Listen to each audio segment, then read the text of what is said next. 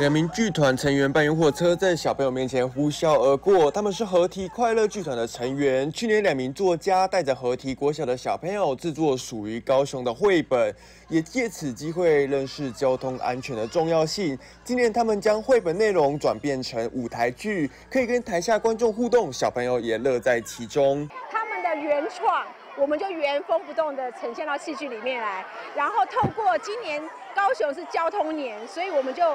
呃，把这个高雄城交通小达人用戏剧的方式呈现给所有的小孩，希望大家能够透过我们这出戏，喜欢上我们高雄的所有大众交通运输。舞台剧相较静态绘本，能跟小朋友有更多互动。现场的问答不仅台下小朋友笑得合不拢嘴，师长们也感到欣慰。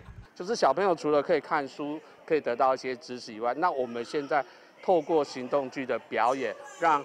呃，我们小朋友能够更清楚的了解书中的内容，其实有点像知行合一，看了书，然后现在又有剧，然后其实最重要是希望小朋友能够身体力行，在我们这个现在复杂的交通环境里面，能够知道很多交通安全的知识，然后进而保护自己。小朋友们不仅参与绘本的制作，还参加舞台剧的演出，看到他们的杰作出现在书本中，他们都很开心，从中也有不少收获。有那个经由这一次的绘本，我我现在有认识更多的交通规则。小时候我都觉得那个超速没有关系，现在我觉得有关系，因为会被罚钱，而且还有生命的危险。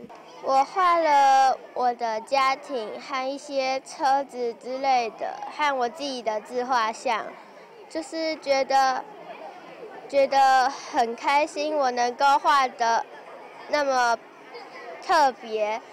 那么有自己的风格。交通安全从小做起，和提国小的学生用自己的画笔和行动，演出属于自己值得骄傲的篇章。雷天新闻庄祖明高雄采访报道。哦，就参考。